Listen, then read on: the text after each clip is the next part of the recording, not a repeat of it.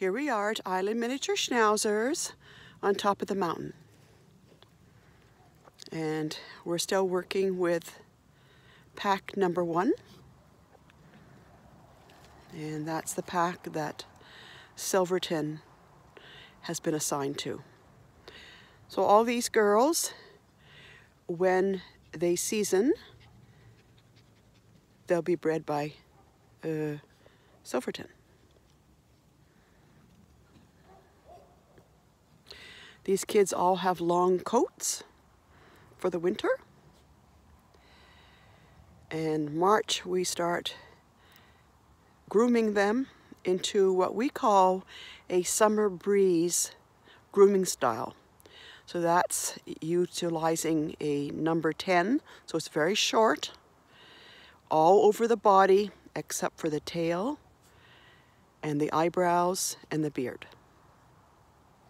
And that way they still they stay cool for the summer and they're comfortable. They don't have any long coat and they're very happy for that. So there you go.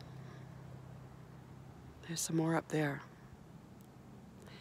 So this is where I come in the summer. I sit right on that swinging uh, bench and I sit here and enjoy the dogs enjoying themselves. Look at that. It's so quiet today. I wonder if this is a calm before a storm. I wonder. I think we're getting more rain. For those that are watching this video that don't know us, we're Island Miniature Schnauzers. We're located on Vancouver Island, British Columbia, Canada. And we breed, love, train miniature schnauzers. We specialize in the lost colors, which are usually very lush coated like Angora.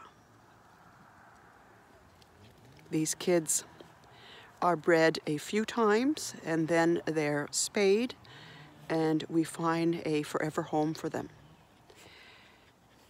So look at that.